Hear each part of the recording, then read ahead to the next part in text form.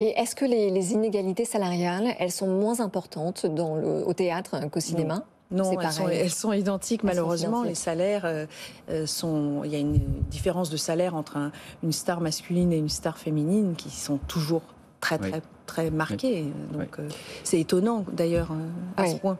J'en reviens à ce qu'on disait tout à l'heure sur cette baisse de, fréquentation au théâtre, moins 17%. Vous vous dites quoi, votre fort intérieur? Ça reviendra, les gens reviendront. Vous vous dites, il s'est passé tellement de choses là en deux ans que Netflix, Co sont allés démarcher des publics qu'on ne reverra pas dans les salles de théâtre. Vous savez, je crois que je suis plus inquiète pour le cinéma que pour le spectacle vivant.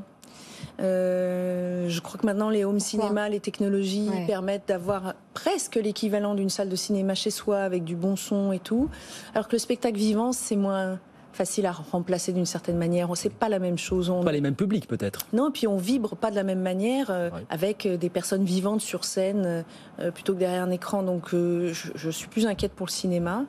Le, spectacle vivant, je crois que ça, ça reste quelque chose de l'ordre du, du, privilège du partage collectif, de quelque chose d'un moment, un, temps donné où on a choisi de, d'être, de vivre ensemble, de vibrer ensemble et, et rire avec tout un tas de personnes qu'on ne connaît pas qui rient avec vous au même moment, il y a quelque chose qui vous qui vous connecte au monde. quoi.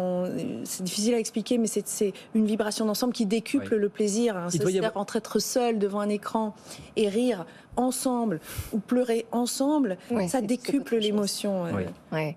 Et, cette envie euh, de, de, passer euh, d'une vie d'actrice à une vie de, metteur en scène, euh, elle est venue comment? Est-ce que c'était une soif de, liberté, d'entreprendre, parce que vous êtes de fait entrepreneur c'est une façon, si on veut résumer, ce serait de passer d'objet à sujet.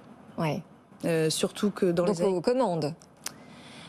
Dans les années 90, euh, être actrice euh, avec un physique comme le mien, ça, ça entraînait beaucoup de comment dire de malentendus autour de voilà de l'image et du mmh. paraître, etc. Et, et ben, j'ai eu besoin de raconter plutôt que d'être regardée. Et euh, je dis toujours, j'ai l'impression qu'on me voit mieux depuis qu'on me regarde pas. Donc, euh, je crois que là, je, préfère, en tout cas, j'adore donner à voir, mais c'est beaucoup plus exposant en réalité, puisque ce que je, n'ai aucune distance entre ce que je donne à voir et qui je suis.